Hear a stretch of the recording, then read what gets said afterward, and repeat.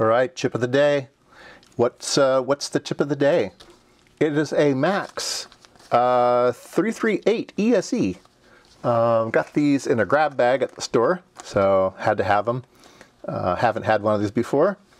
So what is a Max 338? Well, it's an 8-channel low leakage CMOS analog multiplexer. Now, I did a video on multiplexers before, and there's a whole bunch of standard multiplexers and analog switches and stuff in the DG series, okay?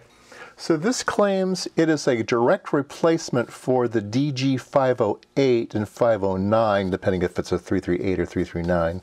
So we have the 338. So we're a direct replacement for a DG508. So it's just a better part. It's better specs, lower leakage, uh, you know, that, all that kind of stuff. So uh, they're great for, what does it say? Great for data acquisition, test equipment, military radios, sampling holds, it's got really good leakage, so it sample and holds, uh, heads-up display, all kinds of stuff, right? So multiplexers are used a lot. I, I used these uh, quite a bit when I was doing um, instrumentation design, where I had one A to D, like a big master expensive A to D, and then I routed all the signals over to, to use to the A to D um, through, through multiplexers. Uh, 8 channel, 16 channel multiplexers and stuff like that. So they were very, very handy.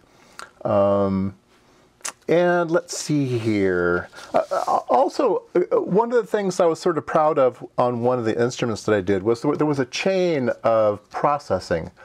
And for troubleshooting reasons, I, I brought off different points in the chain and brought them to a multiplexer so I could, in software, interrogate each piece across the, uh, the chain of circuit and it could do a self-test.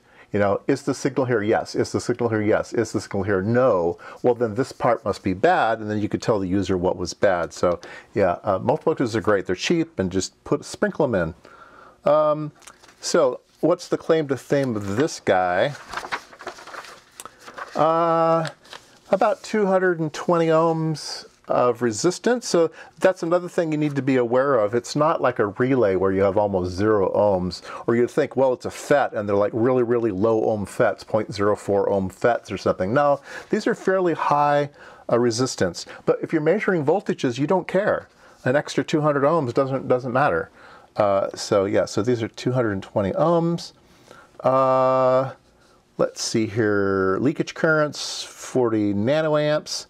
Uh, leakage currents, yeah, 40 nanoamps. That's pretty small. Let's see here. Oh, wait a minute.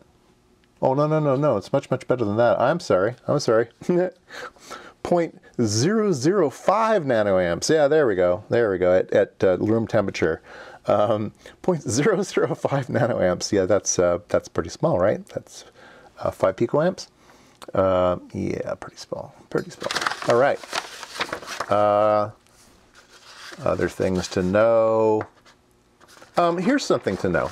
So, in order to make this video worthwhile, um, one of the things you should be aware of is the supply voltages on an analog switch. Now, if an analog switch is being run from 0 to 12 volts, then your signals that you're using have to be within that range, right?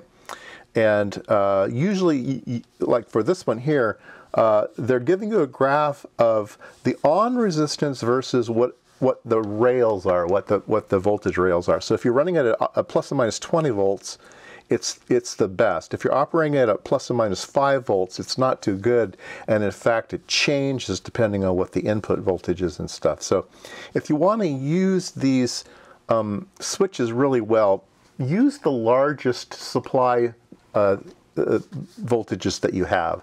So in a typical circuit, plus minus 15 volts would be really, really good with this with this part, right? Um, plus minus 5 volts, eh, not so much, right? It'll work, but you need to be aware of what's going on. And there's a bunch of other other graphs for um, different voltage conditions. All right, let's uh, let's hook one up. Uh, these are SO16 parts, 16 pin, yeah, SO16s. And so I have a little uh, adapter board here that I've put a part on so I can put it in my breadboard. And uh, let's hook up some power to it, yeah. All right, I'm going to be supplying plus or minus 15 volts. Let's turn that on. So those that's our that's our voltage rails, and I'm going to be using uh, a ohm meter. So we're going to go directly across one of those switches, and we're going to measure its ohmage. All right, there we go. So I'm look I'm reading the um, resistance across a switch that's open.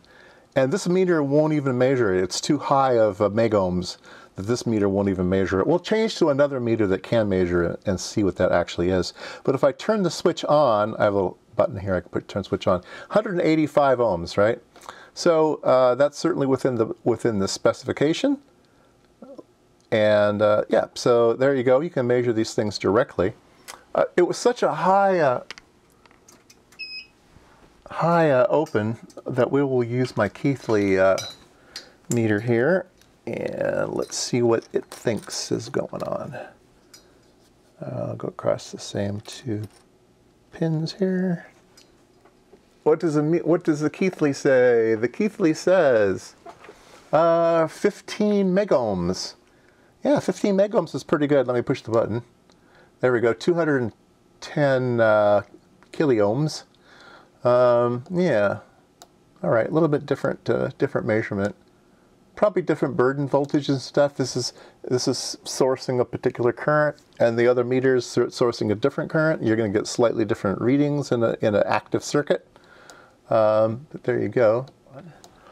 All right, so what we're going to do? We're going to be using my new uh, toy, which is my uh, SG503. Um, sine wave generator. So let's hook him up. Let's see here. All right, so I have the function generator coming in to the switch, and we're going to be monitoring the input of the switch with channel 1, the output with channel 2. And there we go. So we're getting some leakage through uh, the device, um, so it's not entirely isolated.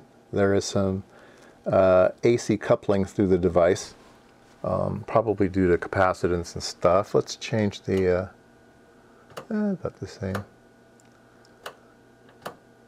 So this is a 4 megahertz, 10 megahertz, 16 megahertz. I got about the same amount of leakage through. Let me turn on the switch. So now the uh, input and the output are the same. And let's go up. This is a 2 megahertz. 4.7, 9.6, 18 megahertz. Oh, 44 megahertz it doesn't like. So 18 megahertz, let's go down. Uh, there's a little bit of dip right there. If you can see that, the, uh, oops. We get a little dip. So there's probably some capacitance in there. We get a little bit of resonance on that little capacitor in there right around 11 megahertz. We go up, here's another one right around 16 megahertz. Oh, and then there's a really bad one here at uh, 23 megahertz. So when you use these things, you have to worry about these, these capacitances and inductances and stuff. You'll get some resonances and, um, you know, just be aware of that. So they're not going to be perfectly flat. You should characterize them. They're going to be pretty flat up to, you know, 10 megahertz or so, but then uh, be wary that uh, it will it will kind of uh, do weirdness there. Let me pan down so you can see my number down, number down there, 23 megahertz. Uh, let's go up one, 36 megahertz. So it can run high in frequency here. Uh, that's completely dying at 40. Yeah, at uh, above 40 megahertz, it's completely dead. So, yeah, interesting.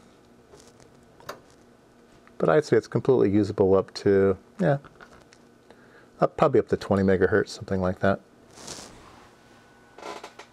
All right, quick uh, chip of the day, the Max 338. So if you're using a DG508 and you want to make it better, use one of these.